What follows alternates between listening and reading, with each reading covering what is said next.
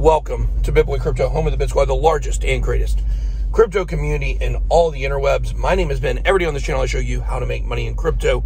Currently in Nashville, we had our meetup yesterday. It went phenomenal. Met so many cool people. Uh, right now, me and my family, fam, say what's up. Uh, we're about to walk into the uh, Colts and Titans game here in Nashville, checking it out. And of course, be watching the Falcons game on my phone. Uh, but uh, yeah, hopefully we'll see a good game today. Let's talk about crypto. Last 24 hours have been absolutely insane. We saw giant news from Cardano yesterday that we talked about last night. Did you guys see that guy? He made a cameo.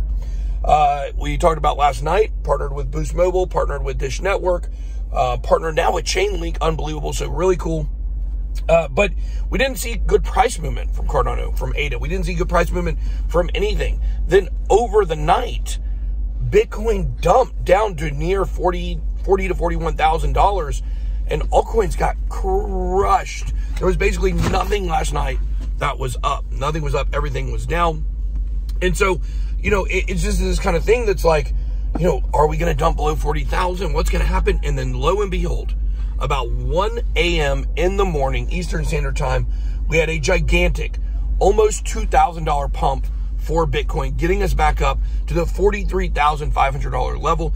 This gives us a lot better footing, number one, for the weekly close today, and number two, uh, you know, hopefully setting us on the course for success with Bitcoin. Now, September traditionally is one of Bitcoin's worst months, and I've tried to tell you guys that there there shouldn't be a connection. There should not be a connection month to month uh, due to the four year cycles. It, it would be more appropriate to cut to compare this September to September of 2017, but not necessarily September of last year or the year before that.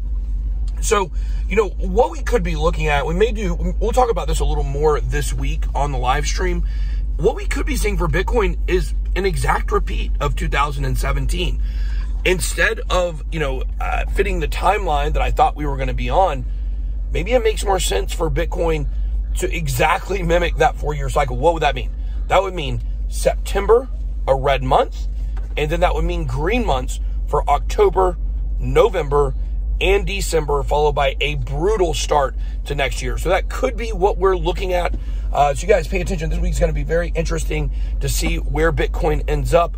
Uh, I think the first is maybe on Thursday or, or something like that. I don't know the exact day. Let's see if today's the 26, 27, 28, 29, 30. I think Friday should be October 1st, according to my calculations. Uh, so does that mean that we're going to wrap up a, a, bloody month here for Bitcoin, or does that mean that maybe by Thursday we see some upward momentum and somehow miraculously end up with a green month? Hard to say, but I think that October is shaping up to be probably one of the greatest months in Bitcoin history. So let me know what you think. Drop those comments down below. That's all I got. Be blessed. BitBoy out.